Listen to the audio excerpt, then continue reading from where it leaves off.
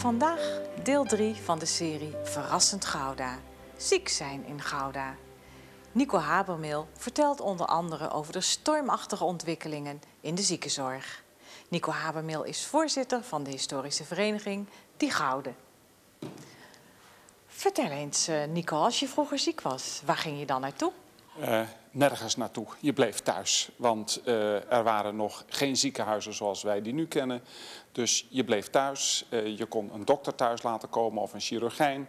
je kon verpleging thuis laten komen. Ja, en op die manier moest je maar zorgen dat de zieke weer, weer genas. En arme mensen gingen dus naar het ziekenhuis. Rijke mensen bleven thuis. Wat gebeurde er met die arme mensen in zo'n ziekenhuis? Ja, die arme mensen die dat, uh, de dokter niet konden betalen en de verpleging niet konden betalen, ja, die moesten toch ergens uh, genezen. Die gingen dan naar een ziekenhuis of gasthuis zoals dat vroeger heette.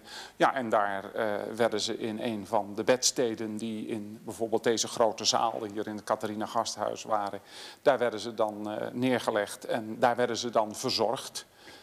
En dan ja, in de hoop dat ze weer beter werden. En uh, waren er ook iets van dokters of uh, andere mensen misschien die voor die mensen zorgden? Ja, in het gasthuis, uh, maar ook daarbuiten had je twee typen medici. Je had de doktoren, dat waren de dokters die hadden op een universiteit gestudeerd. En die wisten dus alles van de binnenkant van de mens. En dat konden ze zien aan de gelaatskleur, aan de huid. konden ze zien aan de tong die uitgestoken werd, aan de urine die bekeken werd. Dus dat waren mensen eenmaal gespecialiseerd in de binnenkant van de mens.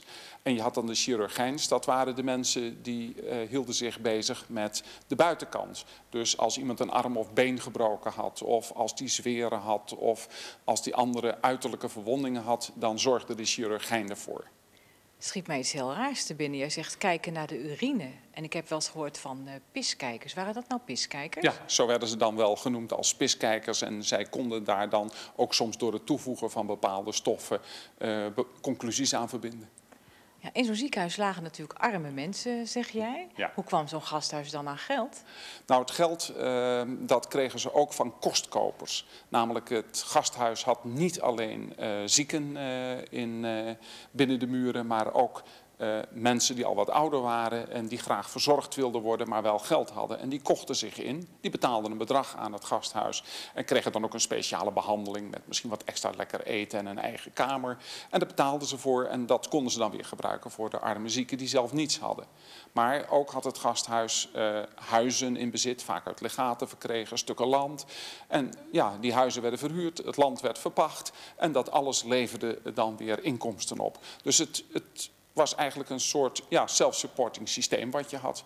En je ziet ook dat mensen die de liefdadigheid uh, wel gevallig waren, vaak ook iets legateren, dus iets bij hun uh, overlijden nalieten aan het gasthuis. Hoe kwam je er nou terecht in zo'n ziekenhuis? Ik neem aan dat je niet aan de deur kon bellen en zeggen: Ik kom een poosje hier liggen of zo. Hoe ging dat? Nou ja, je moest je wel uh, melden bij het ziekenhuis. En dan een chirurgijn die keek wat de, de, aard van de ziekte was. Of je dan ook wel in dat gasthuis uh, opgenomen kon worden. En dan had je het bestuur uh, die een beslissing nam. Of je ook werkelijk werd opgenomen. En die keken natuurlijk vooral naar je financiële positie. En wie bepaalde nou wanneer je beter was of deed dat gewoon zelf? Uh, dat was dan ook vaak weer uh, de chirurgijn of de dokter die aan het gasthuis verbonden was. Als die het gevoel had van nou, de patiënt is voldoende opgeknapt om weer op zichzelf te kunnen leven. Dan uh, kreeg je te horen dat je de volgende dag weer naar huis mocht. Hoe ging dat nou verder met dat gashuis? Hoe heeft zich dat ontwikkeld? Ja, het heeft zich op een uh, wat merkwaardige manier ontwikkeld. Ik had het net al over die kostkopers die hier waren, die uh, verbleven tegen betaling. Je had de zieken, je had ook nog voor geesteszieken, de dolcel had je hier in het gasthuis. Dus ook daar was nog de mogelijkheid voor om die verpleging te hebben. Maar het, het gasthuis ontwikkelt zich toch in de loop der tijd voor een belangrijk deel als ziekenhuis. En dan moeten we onder ziekenhuis toch iets anders verstaan dan wat wij nu hebben. Een ziekenhuis was echt een soort ja, wat je het beste kunt vergelijken met een verpleegtehuis. Je werd hier in zo'n bedstede gelegd en elke ochtend had je de dienstbodes hier die de zaal schoonmaakten. Uh, die verversten ook de kleding, uh, konden je op de po zetten als dat nodig was. Maar meer dan dat deden ze niet. Dus je werd echt verpleegd. Ik hoorde je nou net zeggen uh, geesteszieken. Had natuurlijk mensen die lichamelijk ziek waren. Hoe werden die nou herkend? Gedroegen die, die zich heel raar of zo? Ja, dat waren uh, mensen die gewoon een, een afwijkend gedrag hadden, maar ook een afwijkend gedrag wat gevaar voor anderen kon opleveren. En als dat het geval was, dan waren er twee mogelijkheden. Ze werden of in de Tiendewegspoort opgeborgen in een cachot, want Tiendewegspoort deed ook dienst als gevangenis. Of ze kwamen hier in het gasthuis eh, onder de, het koor van de kapel, waar je een ruimte hebt waar vier dolcellen waren. En daar werden ze dan vaak in een klein hokje neergezet. En als ze helemaal gevaarlijk werden, werden ze ook nog vastgebonden of in een soort pak gezet, waardoor ze zichzelf ook geen, uh, uh, niet konden bezeren. Dus medicatie was er eigenlijk niet voor die mensen, alleen uh, opbergen, gevangen zetten eigenlijk. Voor die mensen in die tijd was echt een kwestie van gevangen zetten. En wie bekommerde zich om die mensen? Nou ja, dat was dan weer het gasthuis. Uh, dus ook weer de dienstbodes die dan één keer per dag daar naartoe gingen om eten te brengen. Vaak door een luikje werd dat aangegeven. En eens in de week misschien dat ze wat kleren kregen. En voor de rest uh, ja, moesten ze daar maar zien door te brengen. Vaak in een koude ruimte met een, een raampje wat open stond.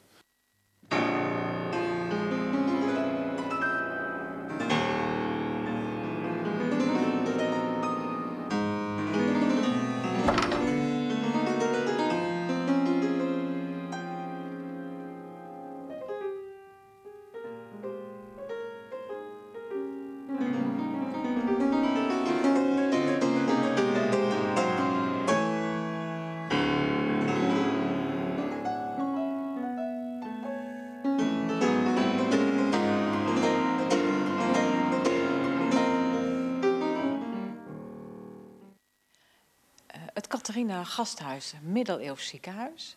Was er nog een ziekenhuis in die middeleeuwen eigenlijk? Gouda kende nog een ziekenhuis, hoewel dat niet binnen de stadsmuren, maar buiten de stadsmuren lag. Dat was namelijk het leprozenhuis. En uh, in het leprozenhuis, daar verbleven de melaatsen.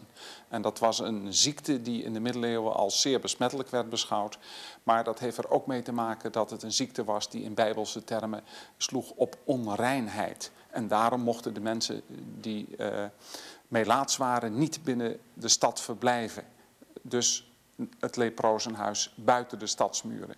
Dat is niet altijd zo geweest, want in 1574, als de Spanjaarden Gouda bedreigen, dan worden alle bebouwing buiten de stadsmuren gesloopt. En dat is dan ook met het leprozenhuis aan de Wachtelstraat. Dat wordt verplaatst en dat komt dan in een klooster wat uh, aan de Gouwe ligt. En dat is het convent van Marie. En in dat gebouw uh, verblijven ze dan, maar dan is de melaatsheid al echt op zijn retour. En in de 17e eeuw verdwijnt de melaatsheid. Ik wil van die lepra toch nog iets meer van je weten. Als je nou lepra had, was het dan vrijwillig dat je naar zo'n leprooshuis ging? Nee, als je lepra had, dan uh, moest je echt naar een verblijf buiten de stad, want je mocht niet tussen de andere mensen verblijven. Het kon wel zo zijn dat je de stad inging, maar dan moest je altijd herkenbaar zijn aan je kleren. En je moest ook altijd een klepper bij je hebben om uh, bekend te maken dat je eraan kwam dat mensen dus uit de buurt van je konden blijven. Zo'n klepper, hoe zag dat eruit? Moet ik me dat voorstellen als dat kinderspelletje met twee van die uh, kleppers? Ja, dus, uh, daar, daar lijkt het eigenlijk op. En daar moesten ze dan, net als kinderen doen, moesten ze dan mee klepperen. Het ging erom dat iedereen wist als je dat geluid hoorde, een melaatse aankwam en dat je dan weg moest wezen ik wil er toch nog iets meer over weten. Als je nou moeder van een groot gezin was en je had lepra, dan moest je toch naar zo'n tehuis. Er was niets anders op dan dat je naar zo'n tehuis ging. En ja, dan moest de man met het grote gezin toch maar kijken of hij een uh, huishoudster kon vinden die het gezin kon runnen. Of hij moest uh, op een andere manier een uh, verzorging zoeken via familie. Maar de vrouw kon dus niet in huis blijven wonen. En waren er nog meer besmettelijke ziektes en was dat ook allemaal zo eng?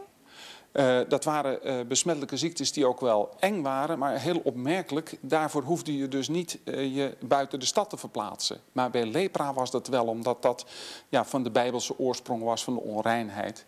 En ehm,